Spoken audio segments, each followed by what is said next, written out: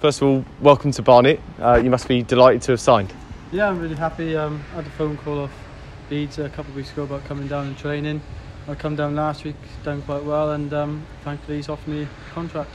You've worked under Peter before at Hereford. Was that one of the pulls in joining Barnet, working up with him again? Yeah, I, I know what know what he's capable of. I know what he wants from, from his players, and when he gave me the pho- phone call, I was more than happy to come up, and uh, I'm been really pleased with him. You've had experience in the Football League before. For anyone who's not seen you play, uh, what kind of player are you?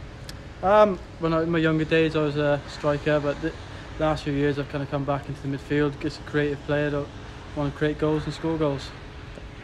For for us this year, it was playoffs in the National League in the 2019-20 season. What should this club's aim to be coming into the new campaign? Um, I think at least playoffs. I think that's, that's the aim of every team in the in the conference at the moment. So we've just got to really push on and try and get in that playoff spot.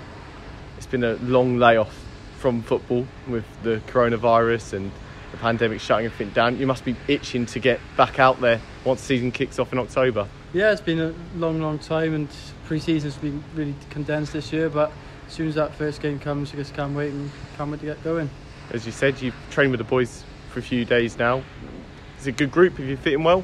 Yeah, it's a good group. They welcomed me straight away when I come on trial. So it's a small group. So hopefully we've added a few more players, and there's a lot of trialists. But they felt they made me feel really welcome.